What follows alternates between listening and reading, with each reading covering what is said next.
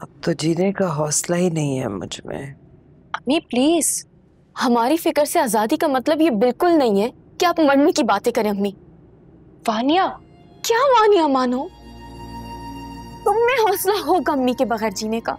हानो के पास हौसला होगा अम्मी के बगैर जीने का मुझमें नहीं है। मैं नहीं जी सकती आपके बगैर।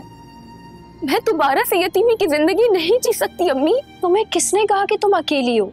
दिन रात आप ही से यही बातें सुनती हो कि मैं यतीम हूँ। ये मेरी माँ नहीं है तुम लोग मेरी बहनें नहीं हो। इस दुनिया में मैं अकेली हूँ। ऐसा कुछ नहीं है हम सब तुम्हारे साथ हैं। अम्मी मैं नहीं जी सकती आपके बगैर। आपको ठीक होना होगा। मेरे लिए ठीक होना होगा। अम्मी ठीक हो जाएँगी। है ना अम्मी?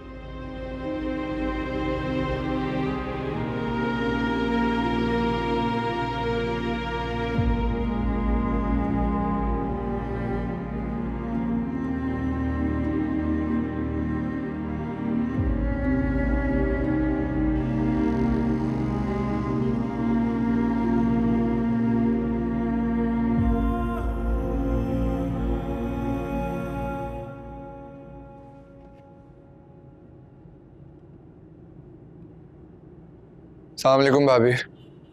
वालेकुम अस्सलाम। क्या ज़रूरत थी वापस दुपट्टा लौटाने की अम्मी को?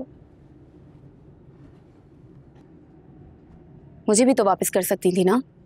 आपको पता भी आपकी इस हरकत से हुआ क्या दो चार लफ्ज और बोल देती ना हमारी माँ ज़िंदा नहीं होती। तो क्या हुआ? कुछ भी नहीं। बच गई ना वो। क्या हो गया है आप ही आपको? इतनी संदिल कब से हो गई? अब हमारी माँ उस उम्र में नहीं है कि वो हर बेटी के जख्म पे मरम लगाती फिरे। तो क्या करूँ? तुम क्या चाहती हो? अपनी माँ की गुनाहों का बोझ अपने सर ले लूँ और अम्माद के सामने मैं भी गुनाहगार बन जाऊँ। गुनाहगार हमारी माँ नहीं है आपका शोहर था। आप चाहे या ना चाहे ये बात हकीकत है और आपको माननी पड़ेगी। वानिया कमरे में चल। एक मिनट। बोलने दो उसे। मैं भी सुनना चाहती हूँ कितना जहर भरा है इसमें तुम सब में।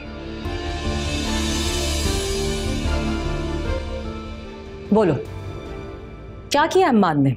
जिस दिन सच पता चलेगा ना उस दिन अपने आप से नज़र नहीं मिला पाएँगी आप। वानिया चुप हो जाओ। और मुमकिन है कि आपको माफ़ी मांगनी पड़ जाए और आपके पास आपकी माँ मौजूद ना हो। क्या हुआ? सच एक्सेप्ट नहीं किया जा रहा? नहीं समझ आ रहा कुछ भी? वानिया चलो यहाँ से।